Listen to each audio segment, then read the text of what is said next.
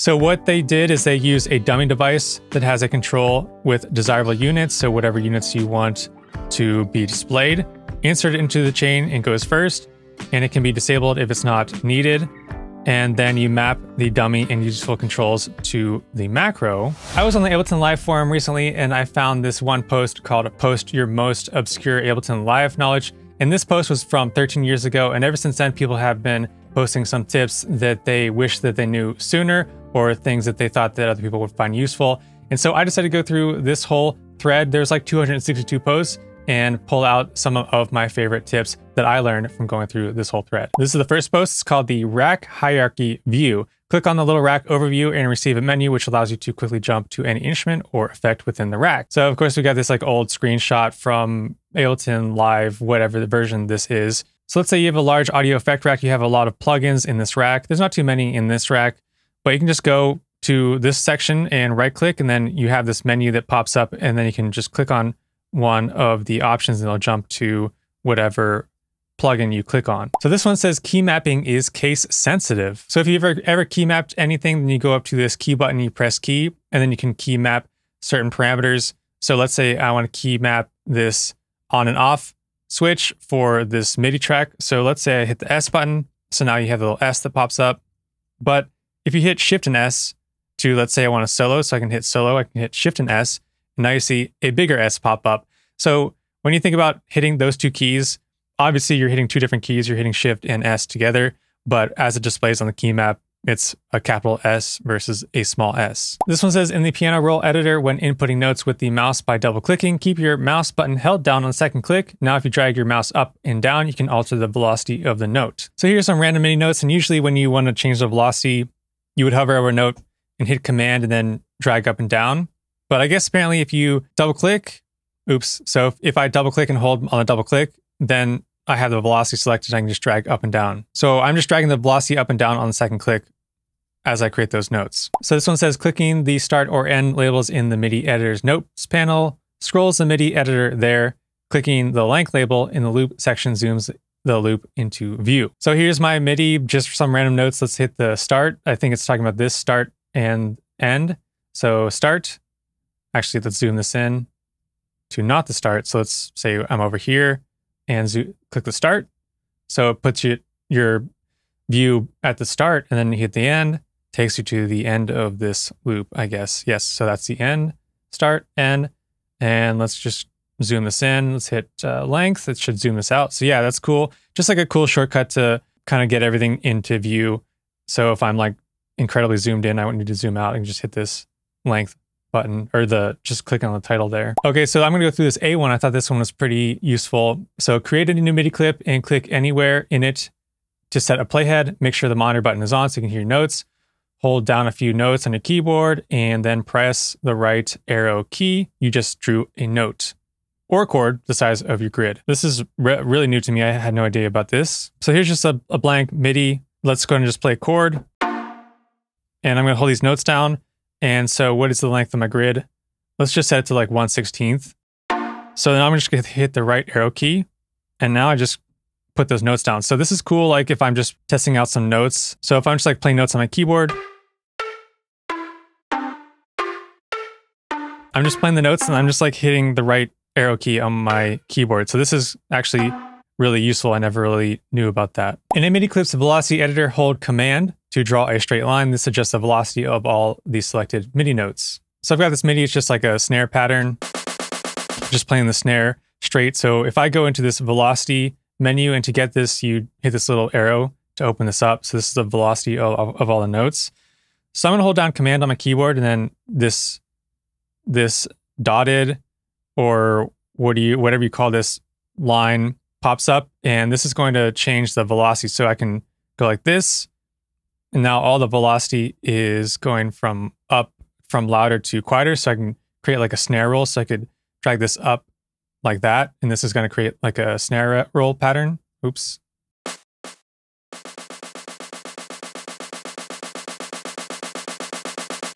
Like where the snare roll is getting louder. And just one note, like if you're using, I have this in a sampler, I believe. So this is a sampler. So just make sure that you have your velocity and your volume uh, amount adjusted to kind of, so if I do this at 100%, it's going to be really quiet. But I think when at like default, it was at 0%. So it doesn't affect the velocity at all. So just make sure you adjust this if you want the volume to be assigned to the velocity. And what's also cool is I could go to the filter. So I could have this velocity uh, tied to the filter as well, or the filter tied to the velocity. So now this, if I'm creating like a snare riser effect, now I've got it like filtered when it's quieter and then uh, the filter releasing as it gets louder.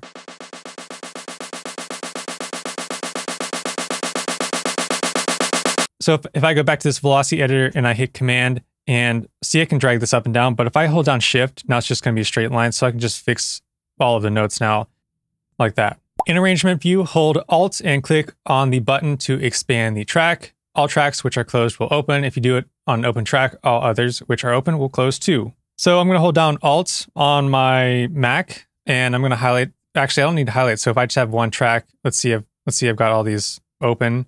So if I just hold down Alt, click it, they're all going to open and close. And also if I resize, so if I resize this one track, if I hold down Alt, it oops, if I hold down Alt, it will resize all of the tracks as well. So I could go like this, close this, and then hold Alt, and now all the tracks are the same size. In the arranger, and I guess I mean the like arrangement view, so select a time span, then double click the time ruler, live will zoom in on the selected time span. So I think it's talking about the, they're talking about the top up here. So if I just like highlight this time and click up here, it'll zoom in. And if I change the zoom again, double click, it'll zoom in. Let's zoom in even more. It'll zoom out. So if I'm zoomed all the way in, I can double click up here and it will zoom out to my selected range. If I'm zoomed out all the way and, and then I double click, it'll zoom in. So that's a that's a useful like arrangement tool to, for like locating whatever range you have selected. So let's just like maybe select something like this, and then I want to zoom in, just kind of can quickly zoom in instead of having to like drag this up and down. Um, maybe that's a shortcut. Maybe maybe that will be helpful. In zone editors like the sample zone editor or the Racks zone editor, press a note or range of notes on your MIDI keyboard, then double click a zone. It is set to the note range you've pressed on the keyboard. So let's get into a zone editor. So this is the zone editor. This is sampler. So open up the zone. So we've got the key, which zone the key is assigned to, and then you can drag this up and down to say like you only want this sound to be played when you play these lower keys. So what they're saying is if I just play a key, so I'm see it turned red, so I'm gonna hold down some notes on my keyboard and then click, and then the range will only be located to that one track. Now if I hold down multiple notes, let's hold down these and I'll just click on the range again. Another range changes. So if you have uh, your MIDI keyboard set up where you have uh, different instruments associated to different zones like that, then you can uh, quickly do it like that. We can select multiple points in the graphical window of EQ8. Click, hold, and draw a frame over the desired points, then move them horizontal or vertical with your cursor keys. All right, so I've got an EQ8. Let's see, let's say I've got a band there, and then let's say I got a band like there. Let's make this into uh, a bell. Oops, type of curve. So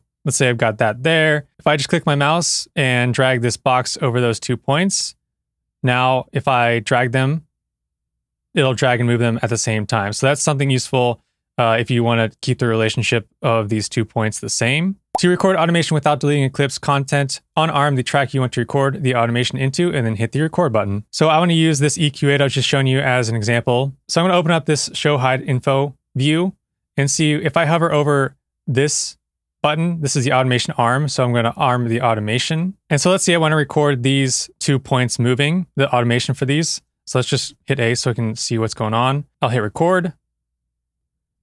Gonna move both of these points. So now we've got the automation recorded and I didn't have this um, armed. If I had it armed, see, it would record complete new MIDI over top of that MIDI. So I don't want to do that. Now, if I just like see the automation I made, so now I can see these two points moving like that. So that's a really cool way to add like complicated uh, uh, automation moves by just hitting record and then selecting both of those nodes. or multiple nodes if you have more, and then just like playing around with their position. And if I hit this drop down, then you can see all of the parameters that I just automated. I don't know how obscure this actually is, but if you want to make multiple MIDI notes the same length, select them, drag the left edge of the longest note all the way to the right, let go of the mouse button, then drag the left edge to the size you want. All right, so they said drag the left edge of the longest note all the way to the right, but I think they meant to drag the right edge all the way to the left. So I'm gonna select all of these notes, click on the longest notes. These are the longest notes. On the right edge, drag it to the left. Now they're all the same size.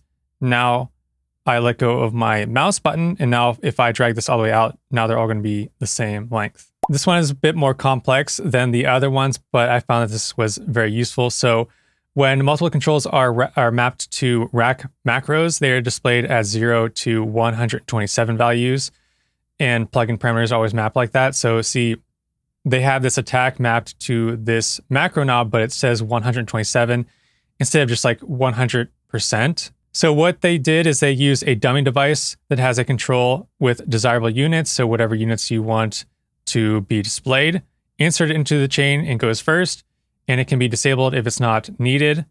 And then you map the dummy and useful controls to the macro. Then both the dummy device and useful devices are grouped with dummy racks.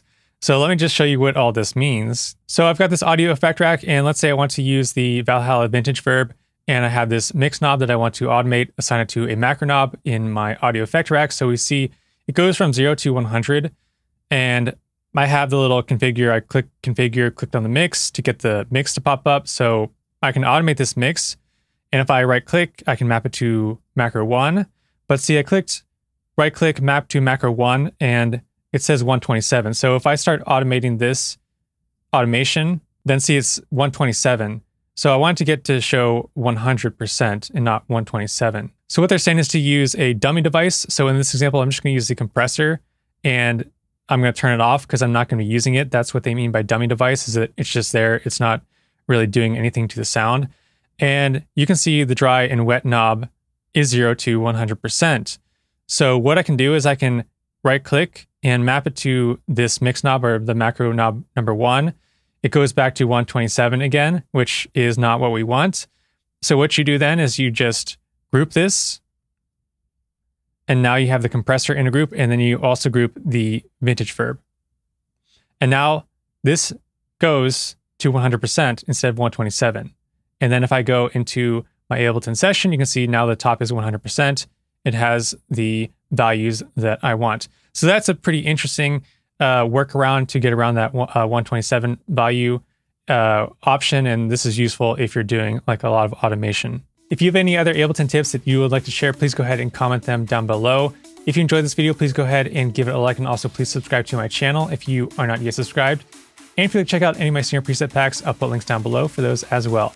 Thank you so much for watching. I'll see you next time.